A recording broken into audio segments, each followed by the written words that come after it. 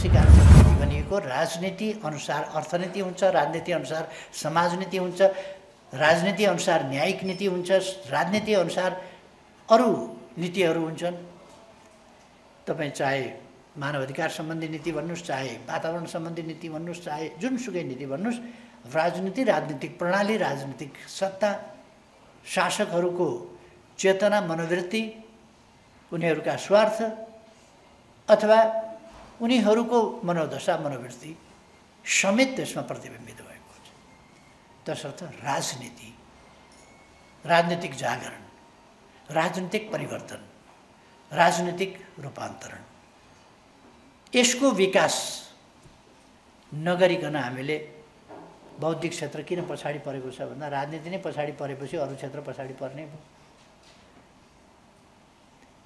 एमाले जस्तो पार्टी जो देश बनाउँछ जो देशका लागि लड्छ जो देश बनाउँछ त्यस्तो पार्टी चुनावमा हार्छ त्यो हार्ने स्थिति छ त्यसले बहुमत ल्याउँदैन भने राजनीति कहाँ छ भन्ने थाहा पाउनु पऱ्यो जनताको चेतना कहाँ छ भन्ने थाहा पाउनु पऱ्यो त्यस्तो अवस्थामा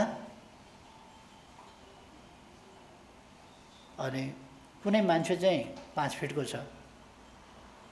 उसले मान्छे नै पाँच फिटको छ भने उसले मेरो खुट्टो छ फिटको किन लामो भएन भनेर हुन्छ। हुँदै हुँदैन नि।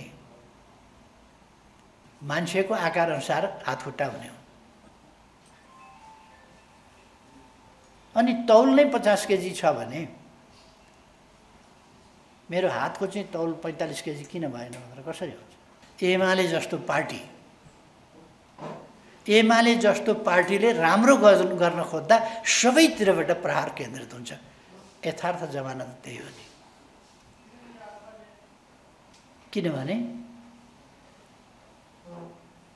सामाजिक परिवर्तन र रूपान्तरणका विरोधी शक्तिहरू आफ्ना क्षुद्र स्वार्थमा अल्झिएका शक्तिहरू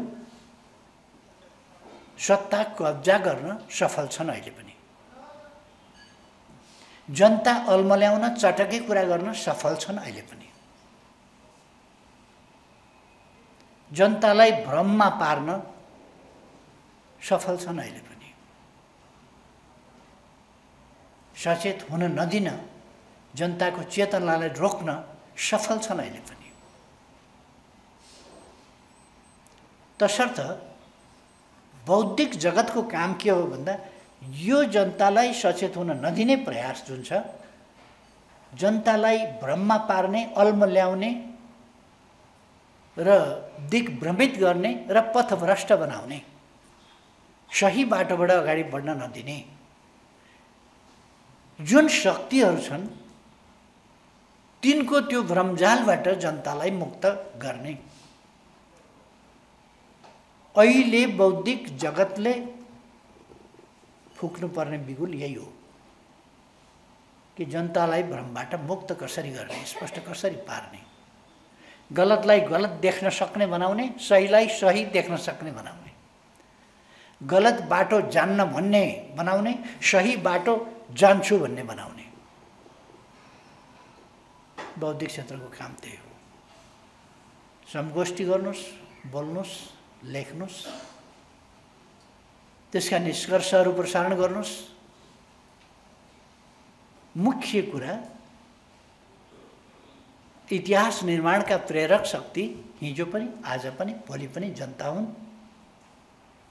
जनतालाई अल्मल्याउने तर्साउने धम्काउने डराउने अथवा उनीहरूको चेतना वा मनोबल कुनै हिसाबले परिवर्तन रूपान्तरणतर्फ जान नदिने चेतनाले जान नदिने चेतना त्यसअनुसार अगाडि नबढेपछि सङ्गठन बढ्दैन सङ्गठित हुन नदिने सङ्गठित नभइकन सङ्गठित प्रयास अगाडि बढ्दैनन्।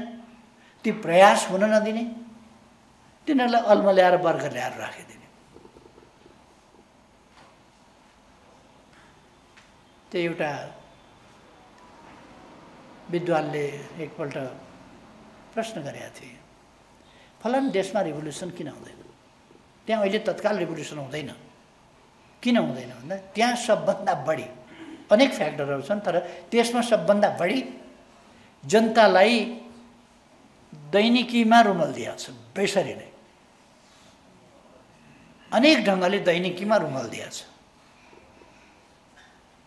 होला अलिकति सुविधाहरू विकास भएको होला तर दैनिकीमा मान्छे रुमलिएको छ त्योभन्दा बढी हेर्न सक्दैन।